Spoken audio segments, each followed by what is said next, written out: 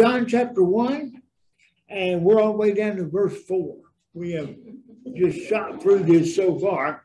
We're going to make a make up a little ground tonight, I think, but um, uh, it's pretty, it's relatively straightforward stuff here. So we'll see what we can do. All right, verse 4 says, In him, who's the him? Jesus. In Jesus was life, and that life was the light of man. Uh, the idea here is a continual action. The verb is continual action, which means God has been been on the earth, connected to the earth, and dealing with people uh, through His Son uh, for all, for all eternity. Um, the idea of life is uh, the personality and character of God. Uh, he was life, or he was a personality and a character. He was a real person as opposed to just a spirit. It's not just a body, but it, it is, in fact, a spirit and uh, a spirit within a body.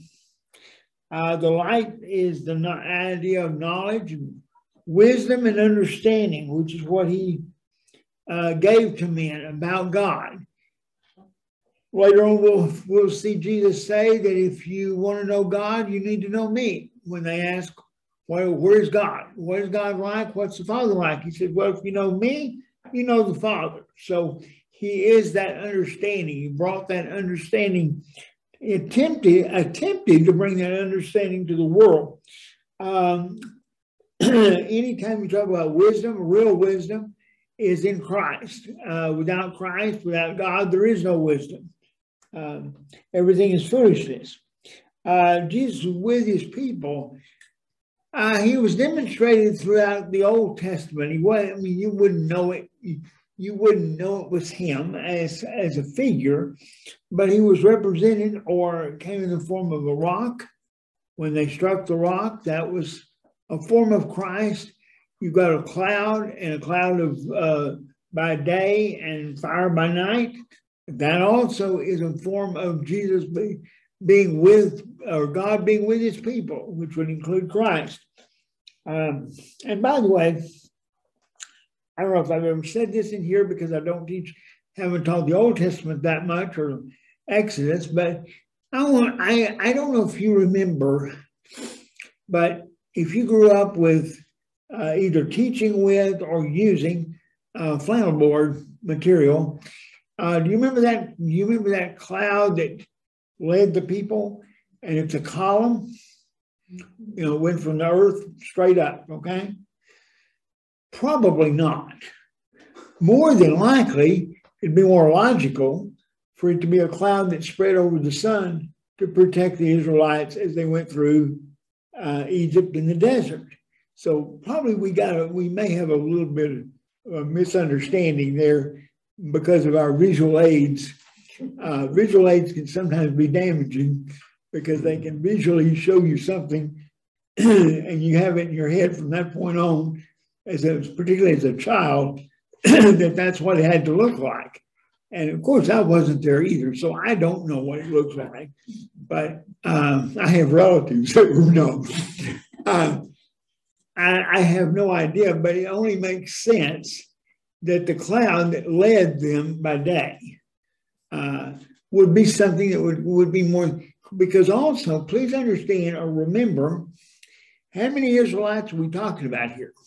About a million. About a million. Well, it'd be a little hard for that one little funnel cloud looking thing to be much of a direction to a million people unless they were strung out halfway around the world in a column of two. So more than likely they were a much wider band of people. Therefore, the cloud would need to be wider, and also the, the fire by night would have to be wider than that uh, column, uh, cloud, and pillar of fire that we're that we have in our heads because of the pictures and the illustrations we've seen. Just that's a side note there. You you don't have to pay for that, and it won't be on, and it will not be on the test. Um, okay, so if, if Jesus was with the through God, God through Christ was with the children of Israel through the through all that time in these different forms, how is Christ with us today? I mean, we, we say he's here. How do you, uh, how do you, how, what, what form do you know him? How would you know that? There's only, there's only one answer to this. This is not a trick question. Holy Spirit. Do what? Holy Spirit. Well, Holy Spirit, but how's the Holy Spirit do, with us? Okay, how is it with us? I'll take that one too. How do you have the Holy Spirit? How does how does the Holy Spirit or Christ or God, how do they communicate with us today? We pray to them and they communicate with us through what? Right, the scriptures. Okay, it's by scripture that we know what we know about Christ, about God, and about the Holy Spirit. So, how does the Holy Spirit, when someone says uh, we are directed or led, which is a biblical term, I'm not saying it doesn't happen, but I'm saying when the Bible says we're led by the Spirit, how does the Spirit lead us? You got it right the first time. Go for the same answer and you'll get it right again. Revelation. Through the scripture, okay? In other words, it's not God talking to us directly or a still small voice as, as God appeared to Elijah at one time, but rather it's through scripture. Therefore, if you want God to communicate with you more readily, what does that require?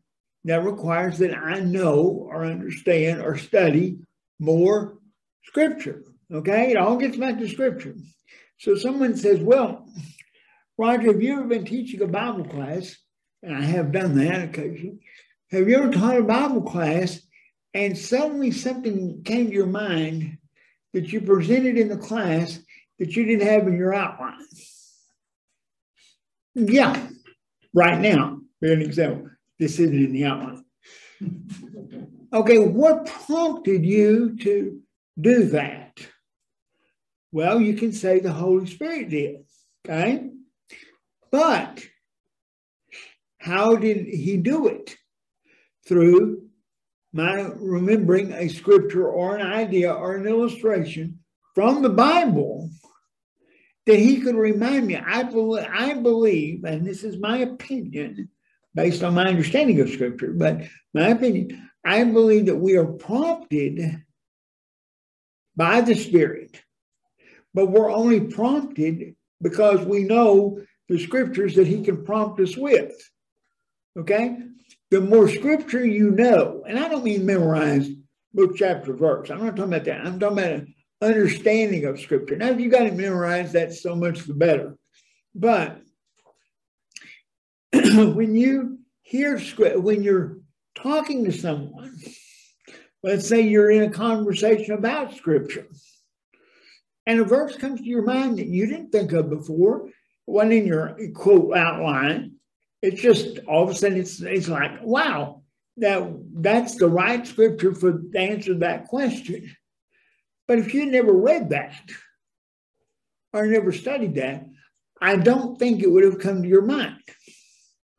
In other words, God doesn't put words in our minds or in our mouth that we haven't at least looked at and studied. But the more we read, the more we study, the more we understand, the more readily Christ and uh, the Spirit, God through the Spirit, can prompt us to say the right thing at the right time with the right scripture. Uh, let me illustrate it this way. In all, and I'm, I'm, I'm being a little facetious, but not totally. In all your times of remembering or saying the right thing at the right time, and that's being claimed, you could claim it was you were prompted by the Spirit. People claim that all the time, and I'm not arguing with them. I'm saying, how many times has a verse from Lamentation come to your mind? Not often. I can go one further and I can say, how many times has a verse from the Song of Solomon come to your mind? And I get even even less nods of heads, okay? Why? Because we don't study those books that much. There's a couple of verses in Lamentation that are used occasionally, and you might remember those. Song of Solomon, not likely anything. Now, how is how is Jesus with us on the earth today? He's with us through the scripture because we know about him via the scripture. We communicate with God and we say, well, he intercedes for us, and he does. There is no doubt about that. But if you didn't have the scripture, you wouldn't know that. There's no way you could know that Christ is interceding for you if you didn't have scripture that says Jesus is currently interceding for us with the Father. So we know where he's at, we know what he's doing. Not every, not, you know, complete, total, absolute, I know everything Jesus and God are doing. I don't. But I have a general understanding of what they're doing. But without scripture, I wouldn't have even a general understanding of it. There's no way I could figure it out. I mean, there's no way you know that. Uh, it's the same principle as uh, the gospel. I can know by watching nature, according to uh, according to Paul in Romans, I can know about God without any scripture at all. But there is no way that I can understand what to do to be saved without scripture. I can talk to God, I can believe in God, I can see evidence of God as, as many people do every day, but without someone to preach the gospel to them, they will be lost because you cannot figure out the gospel. You cannot figure out the God's plan of salvation without scripture. It's the only and and someone to preach that scripture, to teach that scripture, to, to explain that scripture. Now you you possibly could take a Bible and maybe you could figure it out on your own, perhaps. But God really never intended for it to be done that way. Well, how do I know that? Because he says to his disciples, to his followers, which includes us, go into all the world and preach the gospel. Well, why don't we just, wouldn't it be easier just to take airplanes and fly over countries and drop Bibles?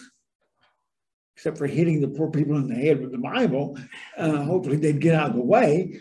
But wouldn't that be easier? And we could translate it into their language. I mean, that, that's not hard. That's feasible. Why don't we just do that? That'd be a whole lot quicker and easier than, than preaching and teaching and all that to get people in a frame of mind to go and do that because God said that's the way He wants it done. Could He have done it a different way? Of course He could. There's no limit to the way God could have done it, but there is a limit to the way God did it. And God said, I'm going to send these 12 men to preach the gospel and teach others to carry it to 12 more, to 12 more, to 12 more until the whole world is covered. Now, most of that's free. A little of that might be on the test, but not much of it. Okay. Verse 5 The light shines in the darkness, but the darkness did not, uh, has not understood it. The darkness, according, if you use different versions, the King James Version uses the word comprehend, did not comprehend it. In other words, they didn't understand it. If you use the uh, American Standard Version, you get the idea of ap- uh, apprehend, which is to grab hold of it. See, I told you you'd have to unlock the door for me.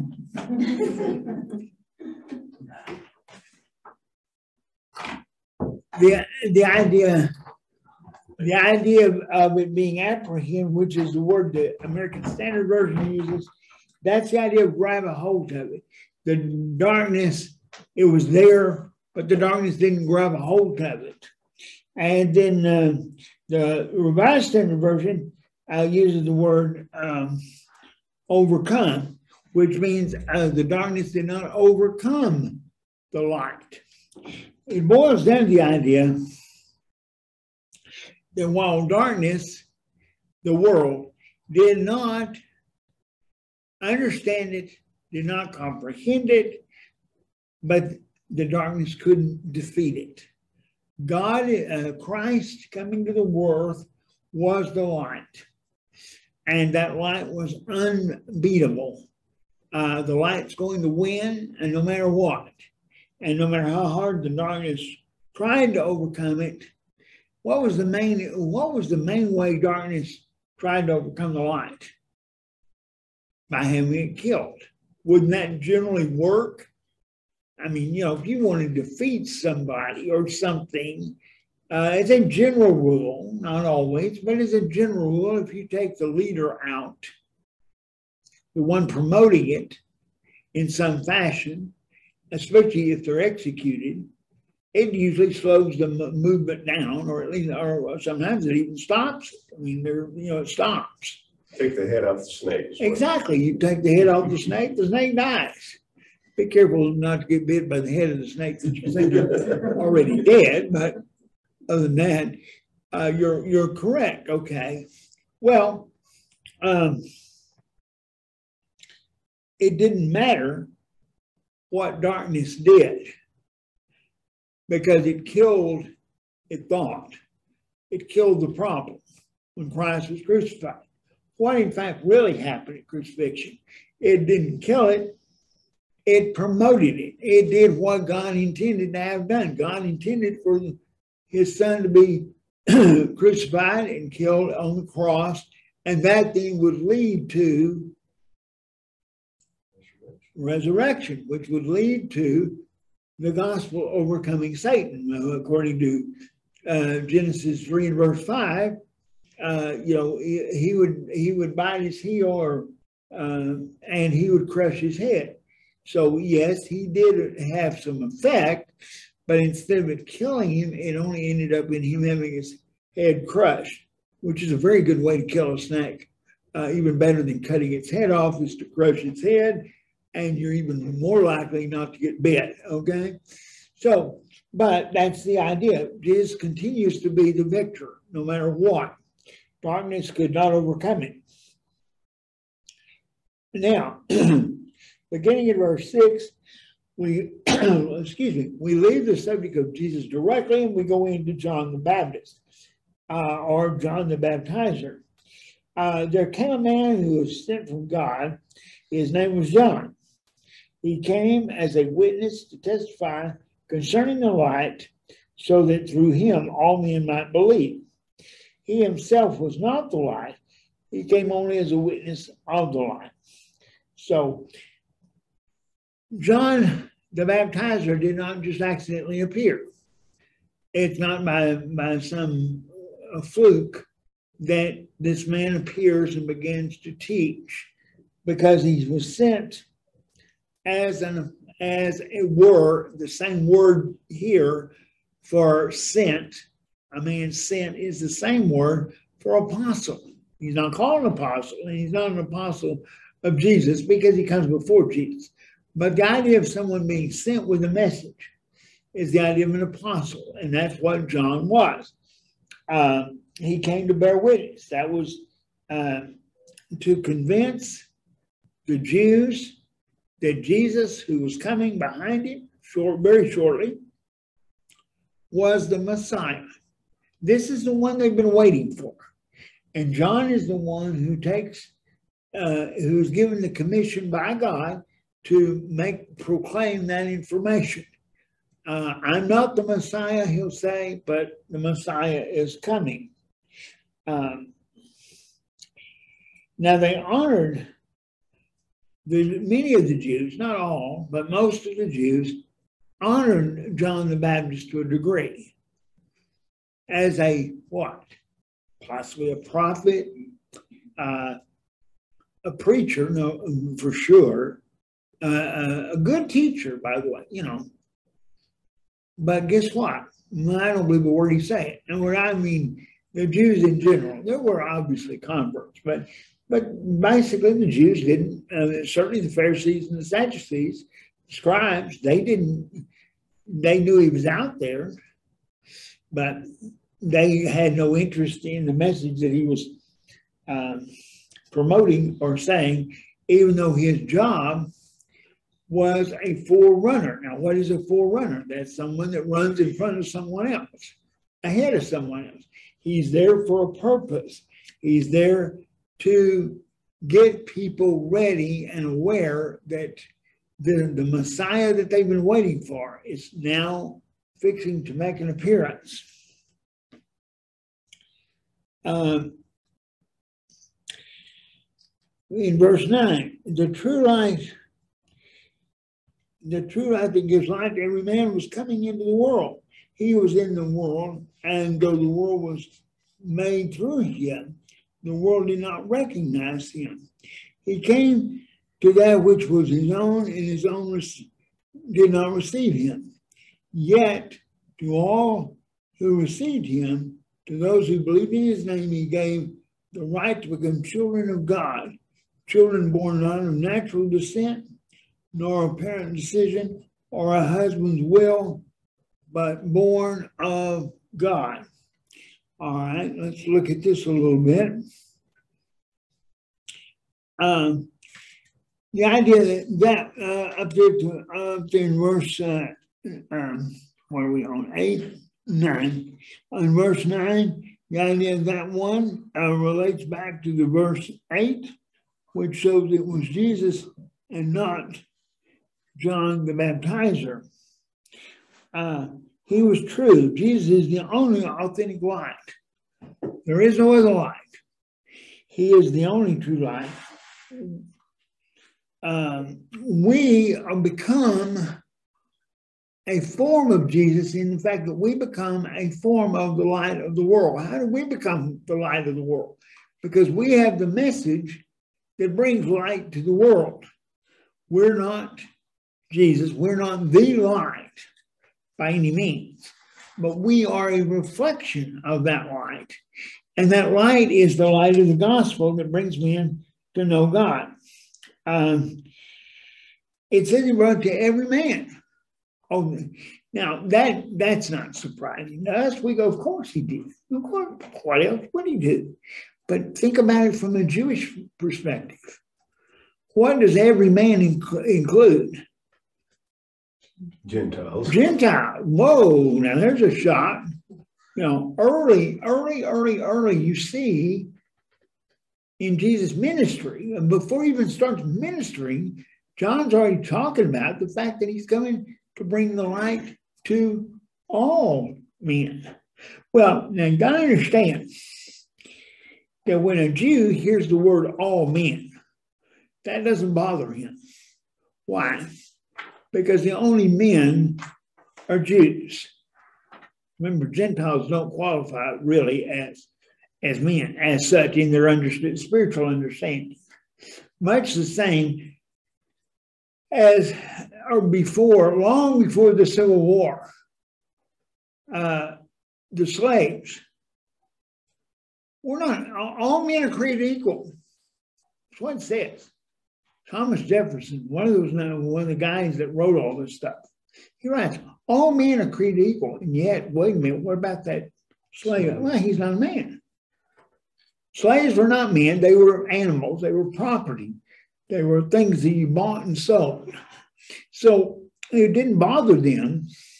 There's no conflict in their thinking to say all men are created equal and have slaves because the slave was not considered a man. He eventually got to be what in this country?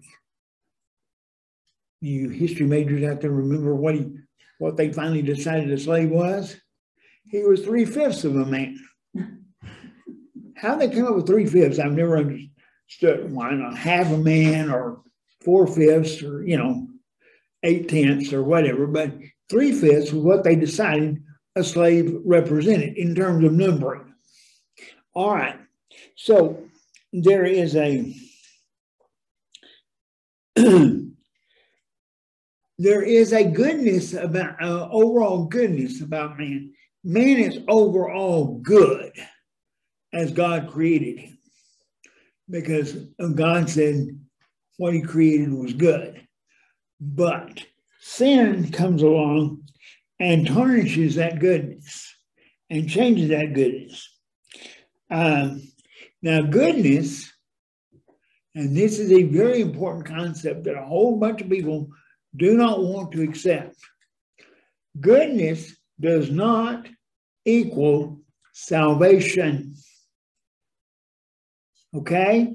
That's crucial because a whole bunch of people say, well, surely God couldn't condemn Joe or Bill or Susie or Mary because look how good they are. I mean, they're better than a whole bunch of people I know. Even I am, you know, Susie's better than half the women that go to church where I do. You know, she's just that kind of woman. She's really a good woman. She's good, but is she a part of the body of Christ?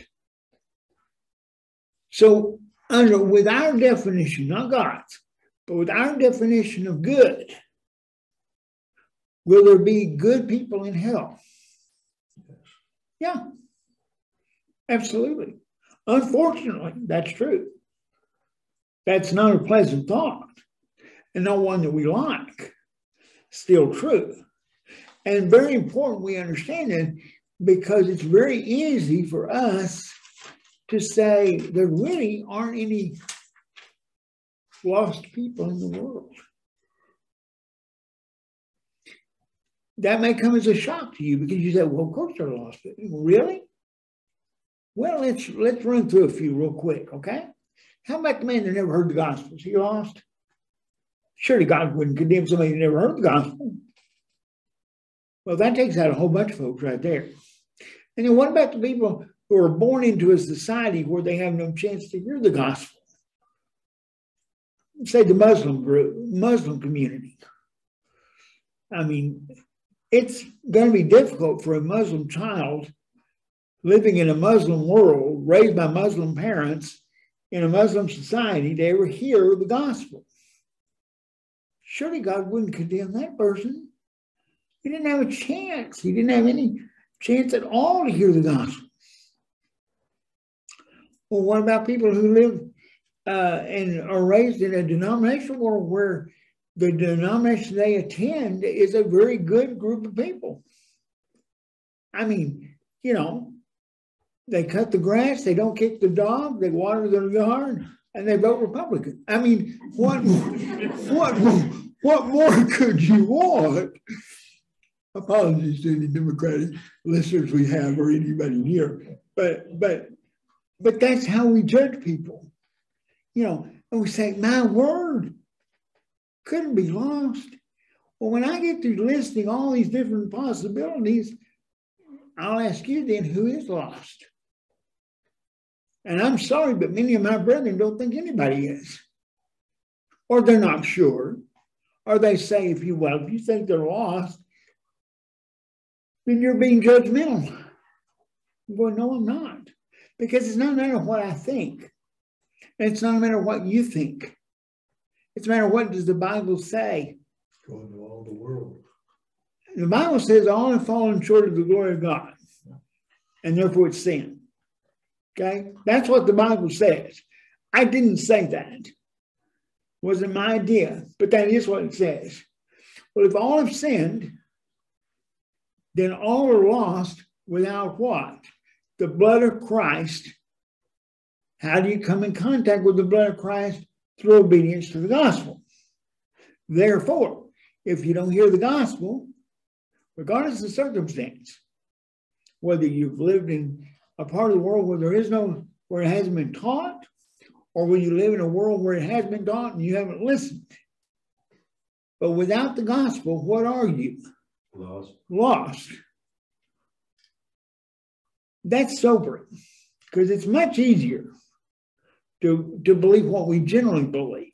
And that is that, well, you know, I don't want to be, I don't want to be the judge. I wouldn't, I wouldn't say that. So, well, Roger, you're saying everybody, I'm saying this is what the Bible says.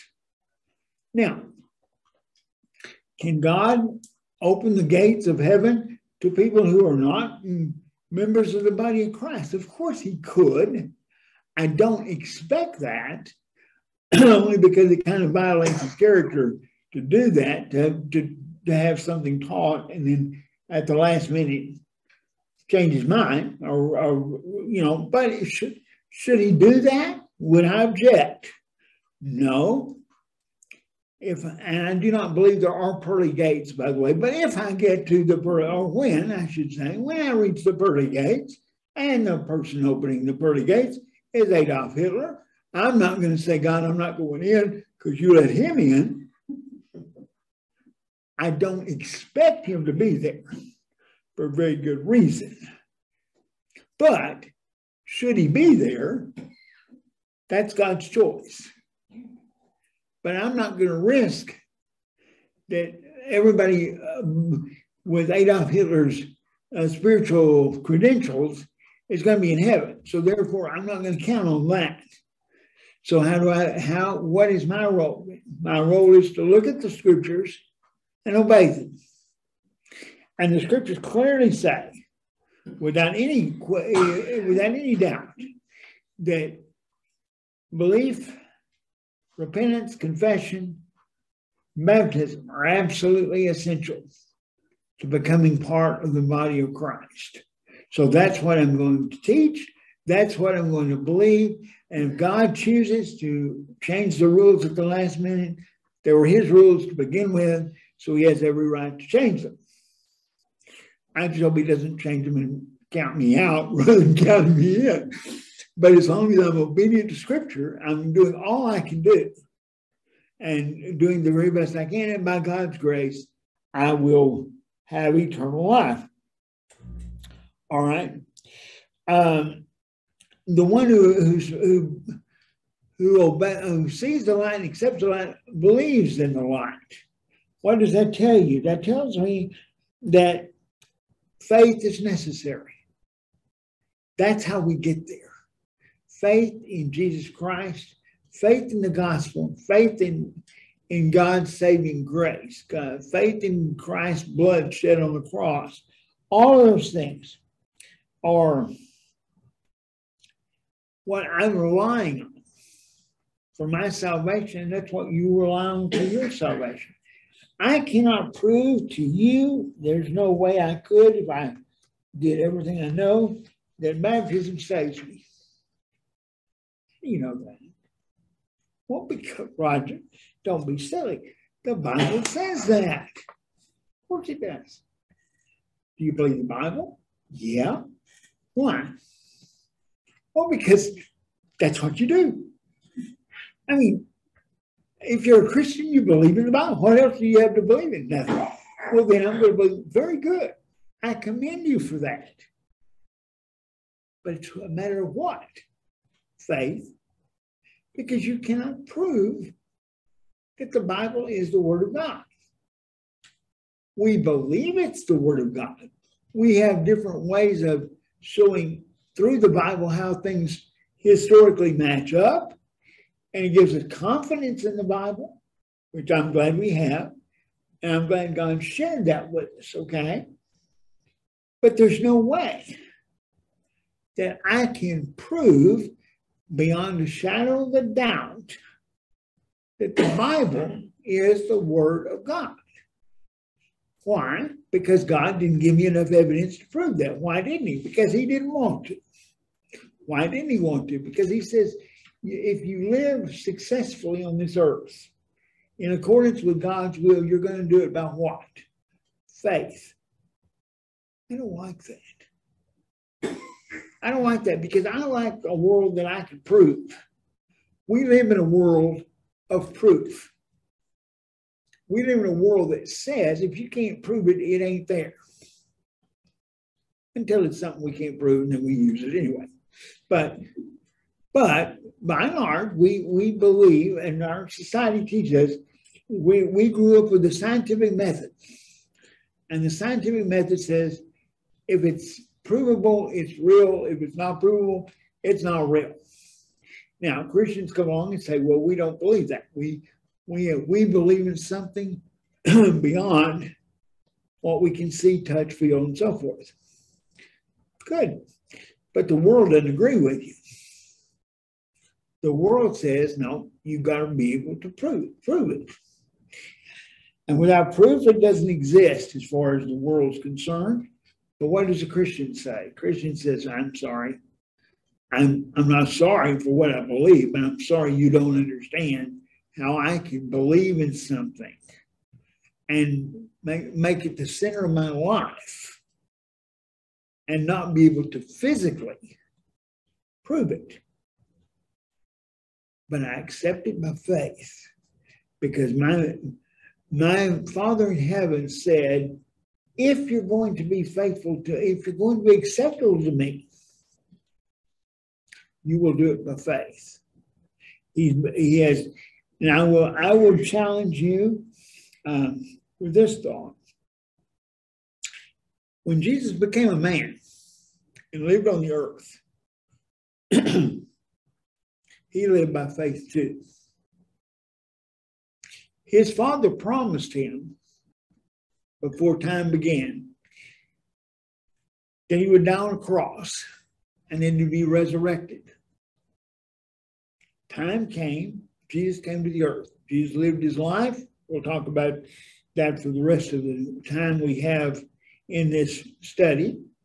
But Jesus lived on the earth, obeyed the Father, did what the Father told him, talked to the Father, had some proof of the Father's response because we know it is baptism and we know a couple of other times that God's, God made an, an acclamation of Jesus.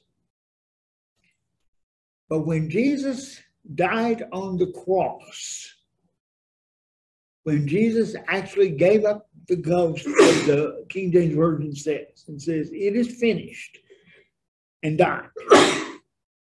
He died there expecting to be resurrected exactly the same way you and I do, because he had no proof.